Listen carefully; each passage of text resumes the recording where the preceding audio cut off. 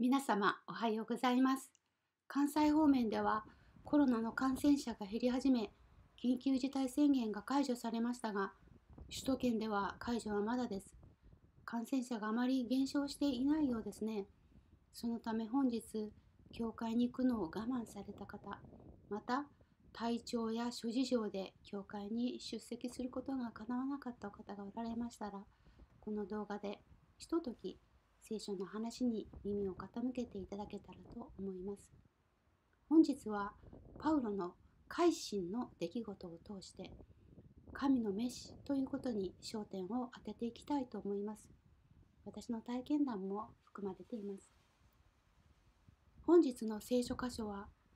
パウロが使徒として選ばれたことについて書かれている箇所です。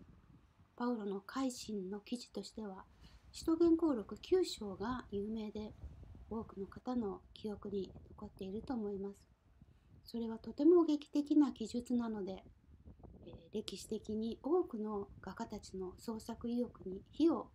つけたようです。たくさんの聖画が残されています。天から光が差しパウロが馬から落ちて地に打ちつけられている様子や目が見えなくなった状況が描かれています。しかしこの使徒言行録は、えー、この筆者はルカという人でパウロ本人が書いたものではありません。とするとルカがパウロからその時の体験を聞いたのかまたは別の誰かからその改心の様子を聞いて書いたのかもしれませんしまたは何らかの伝承が元になったのかもしれません。まあ、誰に聞いたのかはわからないのですがしかし一つ、まあ、これ確かなことはですねこの劇的な様子はパウロが自分で記したものではないということなのです。そして聖書の中にはパウロ自身が自分の改心について記した箇所が一つだけあります。それが本日の聖書箇所ガラテアの信徒への手紙1章の11節です。使徒原稿録の方から先にお読みしたいと思います。使徒原稿録9章1節から19節です。さて、サウロはなおも主の弟子たちを脅迫し、殺そうと意気込んで大祭司のところへ行き、ダマスコの諸街道宛ての手紙を求めた。それは、この道に従う者を見つけ出したら、男女を問わず縛り上げ、エルサレムに連行するためであった。ところが、サウロが旅をしてダマスコに近づいた時、突然、天からの光が彼の周りを照らした。サウロは地に倒れ、サウル、サウル、なぜ私を迫害するのかと呼びかける声を聞いた。主よ、あなたはどなたですか？と言うと答えがあった。私はあなたが迫害しているイエスである。起きて町に入れ。そうすればあなたのなすべきことが知らされる。同行していた人たちは声は聞こえても誰の姿も見えないので物も言えず立っていた。サウロは地面から起き上がって目を開けたが何も見えなかった。人々は彼の手を引いてダマスコに連れて行った。サウロは3日間目が見えず食べも飲みもしなかった。とあります。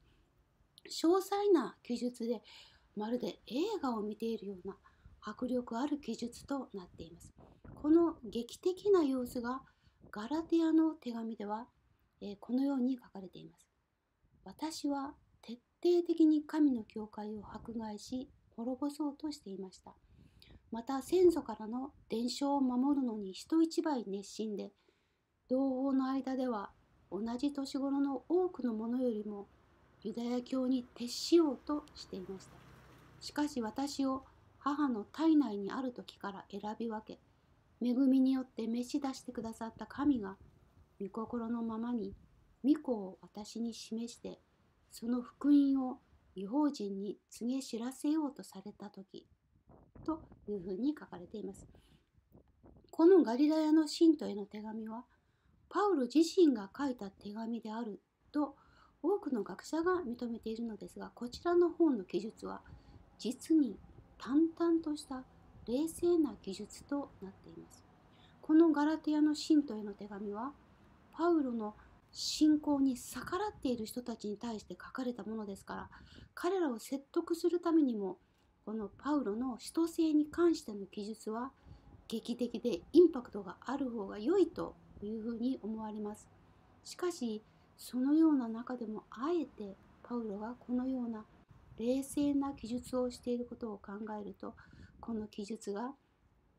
パウロの心や信仰に嘘偽りのないものではないかと思われます。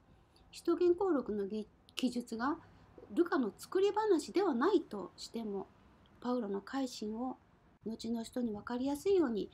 少し物語風に、え劇的に書き直したというふうに推測もできるのではないかと思います。しかし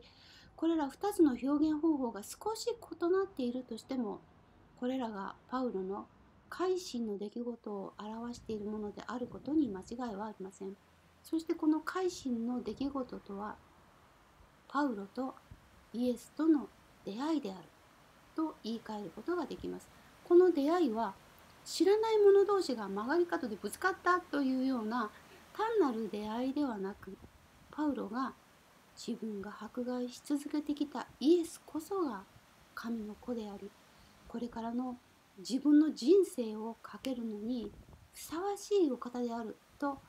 確証を得た時と言えるでしょう。この時以前のパウロはユダヤ教徒として徹底的にイエスを信じる者たちを滅ぼそうとしていました。それは彼らが自分が信じるユダヤ教の神を冒涜していると思っていたからです。そしてそのために自分の人生を費やしても彼らを根絶やしにすることが自分の使命だと信じて行動をしてきましたしかしイエスとの出会いが彼に方向転換をもたらせ彼はこの事件の後イエスの福音を述べ伝えるために自分の人生を捧げることになりました。この彼にとって重要な転機となったイエスとの出会いの事件。使徒言行録9章ではそれは突然であり劇的なものであったと記されていますがしかし彼の中ではこの道を信じる信者たちについての思い巡らしがずっと続いていた末の出来事であったのではないかと思えるのです。使徒言行録7章にはステファノの殉教のことが記されていますがユダヤ人たちがステファノを石を投げて殺殺した時パウロの以前の名サウロという若者が彼らの上着を預かっていたことそして8章の一節でサウロはステファノの殺害に賛成していたと書かれているところから彼とキリスト者たちとの出会いが彼の青年の時からあったことが分かります。その後パウロはずっとこのイエスの道に従う人たちを追いかけ彼らを捕まえることに自らの人生をつぎ込んでいきました。そのことは結果として彼らの考え思想に触れる機会を彼に与えそして彼らを逮捕するたびに彼らの生き方に直接触れることをもたらせました。幼い時からガマリエルの門下でパリサイ派の学びをしてきた生粋のユダヤ人パウロは青年の時ステファノを殺す場面にいた時からその後キリスト者たちを迫害することを通して彼らと出会い彼らの生き方死をも恐れない態度を見聞きしそれらがパウロの心の中で熟成していったと考えられます。立法の命じるところに従って彼らを殺すことが本当に聖書の神に従うことなのかそして逮捕されても喜びを持って順じていく彼らの態度は真理を踏み誤った者の態度か心に葛藤が生じ始めたのではないでしょうか。自分が信じる神は人を殺す神かそれとも生かす神か。自分が信じる神は敵対と憎しみの神かそれとも許しと愛の神か。幼い頃から自分が信じてきたユダヤ人の神は果たしてどちらなのか。彼自身はそのような自分の葛藤に気づいていなかったかもしれませんがとうとうダマスコ途上においてイエス・キリストこそが主なのであると発見したのだと思われます。心の中での熟成の時間が数十年という長い間であったとしても変化はある一瞬をもってもたらされます。馬に乗ってダマスコへの途上にある時パウロははっ気づかされました。イエスが主でありイエスこそが自分が今まで人生をかけて従っていた神そのものであることそれはまさに天からの啓示の光に照らされた時であり彼は地に打ちのめされ目が見えなくなりました。何も見えなくなり何もわからなくなり自分だけの力足で歩くことができなくなりました。これも比喩的な表現かもしれませんね。このイエスとの出会いによりパウロはイエスを迫害する人生から180度転換し福音の宣教者イエスを述べ伝えるものとなりました。この気づき出会いは同じ環境にいて同じ体験をしていても同時に誰にでも起こるものではありません。それはまさに個人的な選びであり召しであると言えます、えー、私が牧師になった大きな契機はイギリスでの体験でした。離婚後イギリスの聖書学校へ1年間留学しました。ピーター・ラビットでおなじみの湖水地方とヨークシャー地方との間にある美しい丘陵地帯に建てられているお城を利用して作られたケーペンレイという名前の聖書学校に入学しました牛と羊が草をはむ大きななだらかな丘に囲まれたその学校に世界中から180人の学生が集まりみんなで一室で勉強し寮で寝泊まりして一緒に食事をし、日々の掃除などもしながら暮らしました。日本人は私一人だったので、みんなから声をかけてもらい、励ましてもらいました。まあ、私が、えー、英語があまり、あまりできなかったので、えー、みな、みんなが心配してくれたんだと思います。生徒のほとんどがクリスチャンでしたので、普通の英語を学ぶ語学学校とは全く異なっていたと思います。聖書の勉強のほかに、えー、数人でチームを組んで近くの教会に奉仕に出かけたり、週末には希望者で遠足に出かけたり、先生の家で、えー、パーティーや少人数のグループ活動など楽しい時が過ぎていきました。ある時、先生の中の2人が婚約をしてそのお祝いのパーティーが、えー、一室で学校の中の一室で開かれましたそして私たちも、えー、私も友達と一緒にそこに出席をしましたそれで、えー、彼にもらった婚約指輪を、えー、嬉しそうに私たちに見せる彼女を見て私は涙が出そうになりその場を離れました実はそれまで離婚に至るまでの数年間幸せそうな夫婦や家族を見るたびに知らず知らずに涙が、えー、こぼれそうになっていました。えなんで涙が出るんだろうなんでだろうとその時には思っていたのですが幸せそうな家族や夫婦を見るときっと羨ましかったのだと思います。自分の中に、えそんな気持ちがあることに気づきたくなく押し殺していたのでその理由に気づか気づかなかったのではないかと思いますがその時も急に涙が溢れてきて止められなくなったので一人になろうと外へ出ました冬のそれそれは冬だったんですけどももう12月の末でしたが冬のイングランドは池の水も凍るくらいのとても寒い、えー、時です建物の外に出て行きました。建物の外は街灯などなく、明かりは全くなく、真っ暗闇でしたが、えー、泣きながら幸せな光から逃げるように真っ暗闇の中を外へ外へと丘に続く道を歩き始めました。かすかに月が足元を照らしていたので真っ暗闇の中でも歩くことができました。神様にどうして私だけこんな悲しく寂しい人生が与えられたのか。どうしてあの人たちのような幸せが私には与えられなかったのか。そう文句を言いながら自分の心そのものの暗闇に向かって歩いていたのですがふと誰かが私の背後にいるような感じを受けましたもちろんそんな夜に真っ暗闇の丘に誰もいるはずがありませんそれは月の光が雲間から時々顔を出し私を照らし私の足元を照らしていることに気づいたからです。それはまるで私が、えー、真っ暗な道で、えー、足を踏み外さないように守ってくれているようでした。その時まで私は辛かった時神様から見捨てられているように感じていたのですがそうではなかったんだということに気づきました私が気づかなかっただけで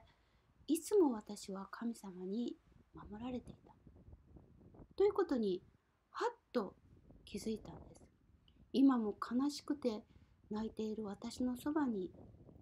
いてくださり見守っていてくださる。真っ暗闇の中で私の歩いているその道を守っていてくださる。それは私にとって全く新しい発見でした。私は一人っきりではない。一人きりではなかった。神様がいつも私のそばにいてくださったし今もいてくださる。そう知ると急に心が温かくなり、えー、涙が出ていたのが嘘のように止まりそして笑顔になりました。真っ暗闇の一人の散歩はまるで誰か恋人と人で散歩しているかのような心ウキウキする楽しいものとなっていました。そして私はすぐにキビスを返して、え婚約パーティーが行われている部屋へと帰っていきました。その後それから以降私の人生において人の幸せを羨んだり自分の人生を悲しんで涙を流すことはなくなりました私のそれまで過ごした人生は過去は何にも変わっていないのですがそれを見る私の心が変わりました私は一人だけ不幸せな人生を過ごしているという暗い考えから私には見えないけれど神様がいて私を見守っていてくださるという感謝の心です。それは180度の心の転換でしたが、パウロが人を捕らえて殺そうとしていた生き方から、イエスの愛に自分も準じて生きようと決心したような神との出会い、そして、えー、正反対の生き方への転換点でもありました。このような神に関する気づきは、それに大きな感情が伴うので、劇的な表現で表すこともできるのですがまたガラテヤ書のような淡々とした記述で表すこともできます。真っ暗闇の中でたった一人になった時そこに神が共にいてくださることを知ったことは天からの光が差したとも言えますがそれはまた私を母の体内にある時から選び分け恵みによって召し出してくださった神が御子を私に示してその福音を幼児に告げ知らせるようにされたというパウロの記述とも一致します。私だけが気づかなかっただけで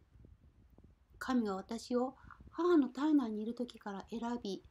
恵み召しておられたのです。このような神の召しとは単に牧師という直接献身だけを意味する召しではありません。すべての人が救いという名詞に預かっていることまたそれぞれの人生において神と出会い主のために働くものとされるという点においては全ての人に与えられている神の召しです神のために働く人生神の愛に応える人生とは一律的なものではありません。一人一人が置かれた人生でそれは百人百用です。そしてイエスに従う生き方とはパウロが自分の手紙で書いているように生前の肉的なイエスの生き方を意味していません。つまり生前イエスは奇跡を行ったり人々に教訓を垂れたりしていますがそのようなイエスの生き方通りに私たちが生きるということを意味してはいないのです。パウロが私たちに勧めている生き方は十字架のイエスだけです。この十字架の生き方とは何を意味しているのでしょうか私は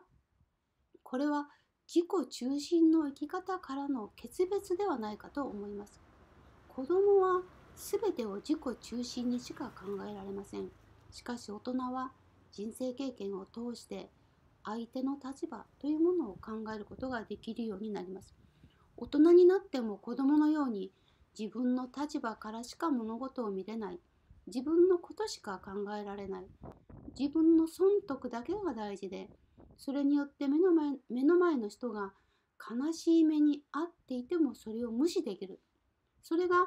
自己中心の一例かなと思います。自分の得を後回しにしてもたとえ自分の得する分がなくなったとしても目の前の人が幸せになれるならそれを選ぶことができる。それが愛でありイエスの生き方であり十字架そのものでありイエスご自身だと言えるのではないでしょうか。自分の過去を思い出し、え神様が私に幸せをくれなかったからだと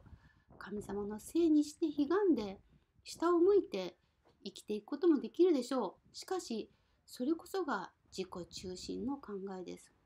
一人一人の人生で神様がどれほど愛をくださっているかに目を留めて180度視点を変える時愛に支えられて前を向いて歩み始めることができるのです。